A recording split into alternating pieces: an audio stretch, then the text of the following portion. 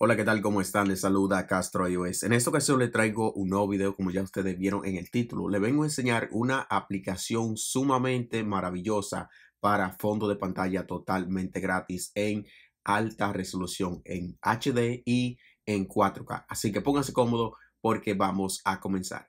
Lo único que tenemos que hacer es ir al link que le dejo en la descripción del video donde vamos a descargar esta aplicación. Yo sé que muchos me van a preguntar, ¿es compatible con el iPhone 5S o el iPhone 6? Sí, es compatible. Miren, aquí tengo un iPhone 5S y tengo la aplicación eh, instalada. Así que le voy a abrir para que ustedes vean de que sí funciona. Cuando la abrimos por primera vez, nos va a decir el dispositivo que nosotros tenemos. Entonces le damos a este botón amarillo que nos sale en el medio y después aquí nos van a aparecer todos los fondos de pantalla que nosotros podemos descargar en nuestro dispositivo. Como ven aquí está el que yo le mostré al principio del video. Para descargarlo lo único que tenemos que hacer es darle a esta flechita hacia abajo y si nosotros queremos ver cómo se ve en nuestro dispositivo antes de descargarlo solamente le damos aquí donde está este icono con un iPhone y aquí nos da un preview de cómo se vería en nuestro dispositivo. Como le dije para descargarlo damos a esta flechita hacia abajo.